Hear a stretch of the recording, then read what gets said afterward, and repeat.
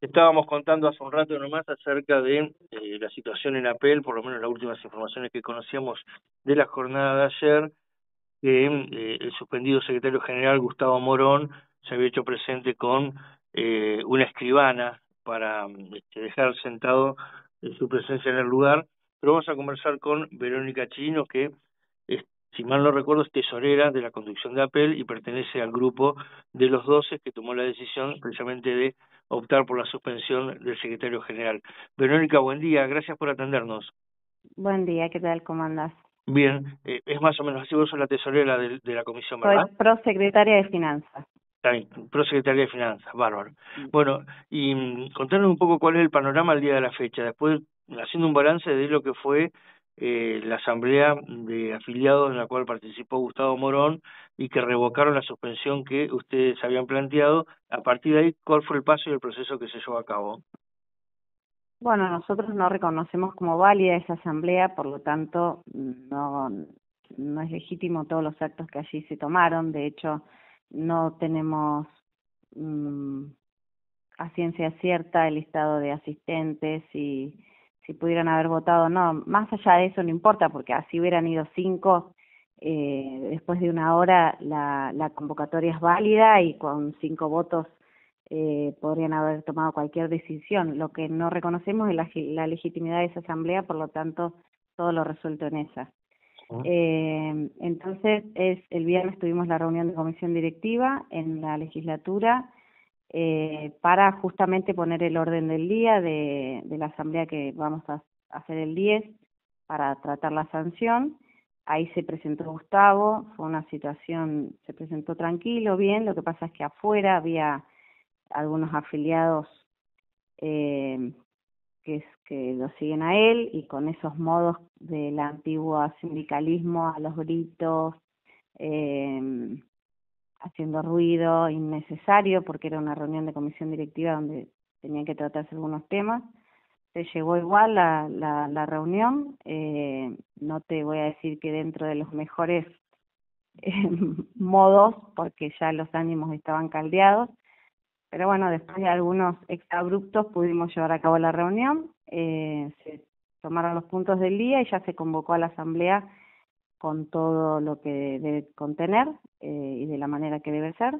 Así que para el 10 eh, esa asamblea ya está en curso.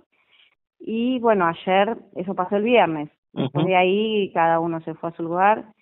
Eh, ayer vinimos al gremio temprano, Gustavo debe haber llegado a ocho y media, también bien, eh, saludamos normalmente como personas adultas y bueno, al ratito llegó una escribana que quería constatar algunas cuestiones eh, de las que solicitó Gustavo, por ejemplo, pedía los libros de actas de asamblea, eh, de comisión directiva y demás. Nosotros seguimos sosteniendo que no es legítimo, por lo tanto no se lo íbamos a, a dar. Sí pidió todo lo que hubiera del balance y eso sí se lo di porque es su gestión, él es el que estuvo a cargo, así que necesita tener todos los números lo más al día y claros posible, así que todo lo que es respecto al balance, suspendido o no suspendido, va a tener siempre toda la información que, que él pida, ¿no?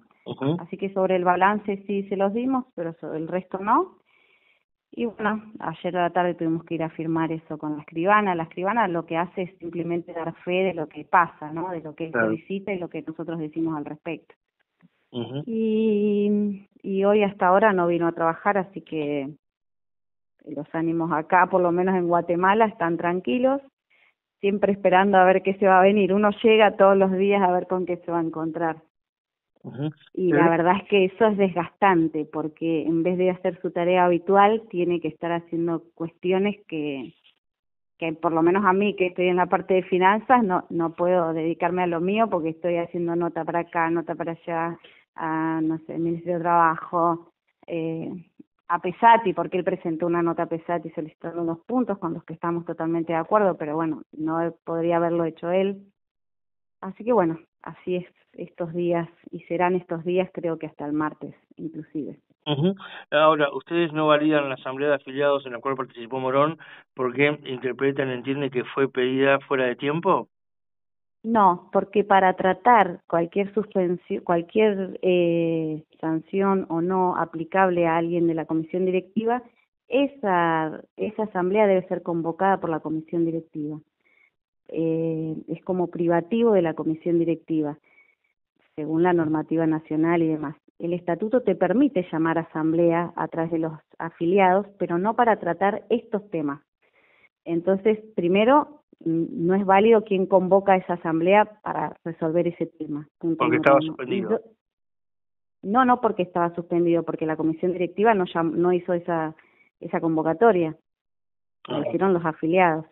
Si esa convocatoria la hubiera tomado la comisión directiva como se trató el lunes y hubiera quedado que la podían hacer, al jueves no llegábamos, pero quizás la podríamos haber hecho el viernes, hubiera sido otra cosa pero no la solicitó la comisión directiva, no la ratificó la comisión directiva. Ese es el punto fundamental. Y después tampoco cumplieron con los tiempos de la convocatoria de una asamblea, que son cinco días, que deben estar expuestos en los ficheros, hay alguna formalidad que no se cumplió. O sea que por un lado o por otro lado no es legítima. Lo peor es que miembros de la comisión directiva que estuvieron ese lunes eh, tomar donde tomamos, se tomó la decisión por mayoría, donde estuvieron los delegados, donde todos estuvieron de acuerdo que la asamblea esa sea el 10, después dijeron, desconociendo esa, esa, todo lo que pasó ahí, salieron a, a llamar a esta asamblea del 29 que nosotros decimos que no es legítima. eh, ¿Por cuánto tiempo está suspendido Morón? No, en realidad es hasta el, hasta el martes que ahí se resuelva, van a resolver los afiliados. O sea, van a resolver. ¿Qué, es lo que se resuelve el martes puntualmente? Si, si le dan una sanción a Morón o no. Exactamente. ¿Qué tipo de sanción se le podría dar? ¿Y, ¿Y cuál sería la, máxima pena si es que consideran que es responsable de algún hecho? Sí, lo que pasa es que eso es complicado porque eh, el estatuto tiene muchos grises, la ley también, y eh, él tiene una, una causal de expulsión, pero el alcance de la expulsión también, ¿qué significa? De la comisión directiva, de, de afiliado, nadie quiere sacarlo de la afiliación para nada, nadie, todos quieren que él sea un legítimo candidato para la próxima elección y habilitarlo para ello. Eh, entonces, bueno, cuando se plantea ahí, vamos a tener que poner algunas limitaciones para que tampoco se pida cualquier cosa, ¿no? Digamos que el martes es decisiva esta reunión. Es fundamental, la verdad es que si el afiliado toma conciencia que es tan importante como una elección, espero que lo haga y que asista, porque en realidad lo que se pone de manifiesto son eh, qué tipo de modelo o de gremio quieres, qué tipo de, de, de conducción gremial querés y, y la verdad es que hoy realmente hay un punto de inflexión entre uno y otro. Entonces, si el afiliado toma conciencia de la importancia de esa votación, eh, debería ir con el tiempo suficiente como para poder hacerlo, porque realmente va a ser una asamblea que va a tomar su tiempo. También depende si, si se logra el quórum temprano, si hay que esperar una hora más, pero calculamos que va a ser una, una asamblea que al menos hasta las 5 de la tarde va a durar. Eh, y puntualmente ustedes en esa asamblea van a presentar definitivamente las pruebas por las cuales acusan a Morón. Claro, es lo que estamos haciendo, por eso no llegamos a, a, la asamblea. En realidad, cuando se planteó la fecha, ese, no me acuerdo ya que estamos, pero creo que era el 26 eh, de agosto, eh, cuando Gustavo presentó el descargo, esperábamos otro tipo de descargo, porque uno, la verdad esperábamos otro descargo, y cuando él desconoció todo lo que había hecho, bueno, tuvimos que empezar a, preparar pruebas y demás, y con todo esto diario que complica la vida común, hace que no, todavía el día de hoy ese, esa compilación de pruebas y esa redacción no esté terminada, por eso era imposible hacerlo antes, pero para el 10 va a estar claramente que sí. Eh, por ahí algunos vecinos nos plantean desde el desconocimiento y además porque no tienen ninguna vinculación con el gremio, ni son afiliados, ni trabajadores legislativos. El vecino común, el que eh, habla de APEL como podría hablar de cualquier otro gremio ante cualquier circunstancia. Nos dicen, ¿cómo puede ser que lo hayan suspendido si no presentaron los elementos de prueba porque todavía no los tienen? Es como que pareciera hacia afuera que hay una contradicción en ese sentido. Lo que pasa es que la suspensión es preventiva, nosotros no sancionamos y la acusatoria. Eh, lo que la acusatoria tiene eh, tiene sus fundamentos, digamos. Después él hace su contraprueba y nosotros no hicimos la nuestra, digamos, ¿no? Pero todo lo que todo lo que por lo que nosotros lo suspendimos está están los fundamentos claramente eh, y lo vamos a poder probar. Eso es lo que estamos juntando ahora. Pero pero eh, no es una sanción, por eso pudo haber sido de este modo, eh, y claramente era una suspensión preventiva por un, por un, te deja ahí el estatuto una situación que dice desbordes en el seno de la comisión directiva. Eh, y la verdad es que la comisión directiva está, eh, eso es a, a las vistas es así, digamos, no hay, no hay mucho para probar ni, ni para decir, digamos, ¿no? Eh, imposible y bueno así van así van a ser estos 10 días también eh, trabajar de este modo no es, no es sano para nadie. Ahora, Verónica, eh, ¿cómo será el día después, independientemente de si lo vuelven a Morona al cargo o no, o eh, si siguen ustedes o no? Digo, si, si se va a plantear una convivencia bastante difícil, si que todos tienen que volver a trabajar eh, bajo la misma órbita. La verdad que sí, que este... O sea, uno tiene la sensación que acá hay algo que se rompió y que es irreconciliable es irreconciliable, por eso es una situación donde constantemente decimos perdimos todos, pase lo que pase, es una situación que el afiliado pierde claramente y esta comisión directiva pierde claramente porque se desdobla eh, de algún modo. Eh, yo creo que es inviable la, la convivencia de algunos dentro de la comisión directiva, justamente porque eh, porque lo que se está poniendo de manifiesto son dos modos distintos de pensar y de actuar. Y eso ya es irreconciliable a esta altura del partido. Pero bueno, se verá, se verá en base que diga el afiliado, que hay una probabilidad muy grande de que se puedan adelantar las elecciones también. Eh, la verdad que es, es algo que tiene lógica y que podría pasar. Si hay una elección, ustedes eh, se presentarían con, digo, no, no digo con Morón, sino con lista propia? Por mí, individualmente, no. No te puedo decir el resto, pero yo con esta experiencia creo que estoy más que suficiente. Caso cerrado. Eh, caso cerrado. La verdad es que además el, el desgaste de este mes fue muchísimo más que estos dos años y medio. Eh, yo creo que, que si le preguntás a los 21 personas de la comisión directiva, hoy te dirían lo mismo después quizás con tiempo y con, con, con otro descanso alguno podrá pensar distinto, pero la verdad es que el desgaste mental, físico, psicológico y todo de este mes, para todos, para los 21, ha sido muy grande, así que por lo menos a mí me sacaron todas las ganas. No te pido definiciones ni que, ni que me cuentes pormenorizadamente el detalle, pero eh, ¿qué fue? ¿Fue tan grave lo que pasó que rompió el vínculo, rompió la confianza, porque daba la sensación como que esta nueva conducción venía con un camino diferente, un camino distinto eh, a lo que se estaba haciendo anteriormente y como que estaban buscando una, una forma diferente de mostrarse gremialmente, pero como que de la noche a la mañana este, todo se voló en pedazos. La verdad que sí, esa es la sensación y esa es la frustración más grande que tenemos todos y acá todos digo todos, porque Gustavo también la debe tener conmigo, claramente.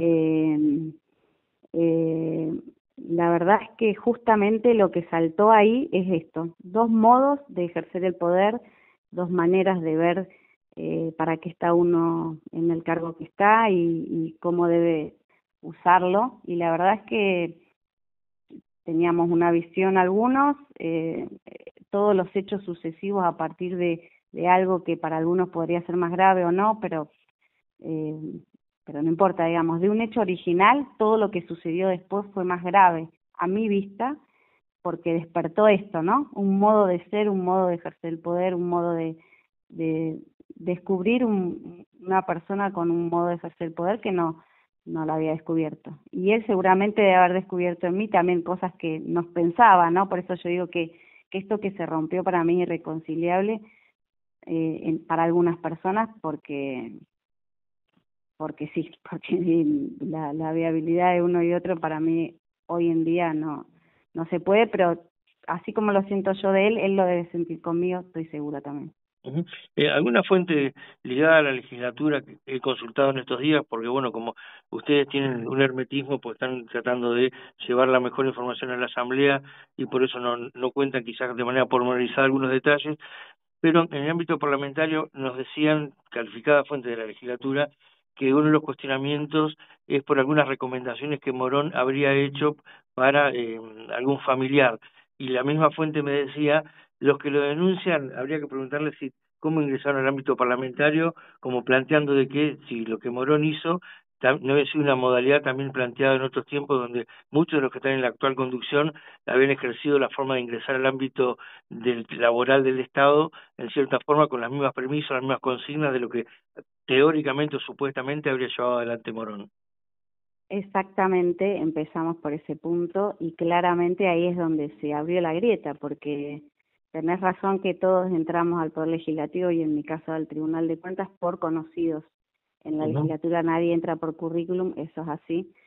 Pero eh, cuando nosotros asumimos, cuando nosotros eh, quisimos formar una lista, la hacíamos justamente con esto, ¿no? Con esta premisa. Se acaban los, se acaban las, los, ¿cómo se llama esto? Los, los favores. no, no, los favores y con la patronal y bueno, yo digo que cada persona ocupa un lugar que tiene una responsabilidad distinta también, ¿no? Y los ingresos que hubo, que hubo en este momento, parte de la comisión directiva tiene gente trabajando también en, el gremio y con puntos de la legislatura, fueron de otra manera, fueron consensuados en comisión directiva, dependen de otras personas. Eh, lo que nosotros cuestionamos fue la forma que fue oscura y en silencio y, por atrás porque sabía que iba a tener eh, la desaprobación de, las, de, la comisión directiva y fue el modo y de quién dependen, ¿no? Las contrataciones de hijos, inclusive se cuestiona hasta la de mi papá, que es abogado, eh, las cuestiones de los hijos eh, están con puntos y de cuñados, también está el cuñado Pascu, eh, esas contrataciones nosotros certificamos, es gente que trabaja en el gremio, que la vemos trabajar, que certificamos su trabajo y que los puntos sí los paga la legislatura, pero que son del gremio, o sea que cualquier problema que hay y, este, y saben todos los empleados acá que su fuente laboral pende de este hilo, ¿no? Que cualquier, si lo quieren dar de baja, lo van a dar de baja, ¿no? Nosotros hay cuestiones que, que no podemos manejar. Y, por ejemplo, el caso de mi papá, que creo que es un abogado de nombre reconocido, eh, está contratado sobre todo por el tema del fondo. Nosotros eh, asumimos con todo este caso del fondo. Creo que no hay abogado que sepa más del tema que mi papá y que Casariego que estuvieron con el fondo porque es un tema complejo. Eh, Casariego está, de hecho, trabajando con las causas nuestras que habían quedado pendientes, pero uno siempre le queda la duda, el resquemor de que si será parcial o no será parcial, porque era el abogado de Gatica también, en algunas causas también ha sido. Y bueno, ¿quién te va a defender mejor la espalda que tu papá? Creo que en eso nadie tiene dudas, como nadie tiene dudas de, la persona, no es que estoy contratando un almacenero de abogado, ¿no? eh, y toda esa contratación... ¿Esa fue una decisión tuya?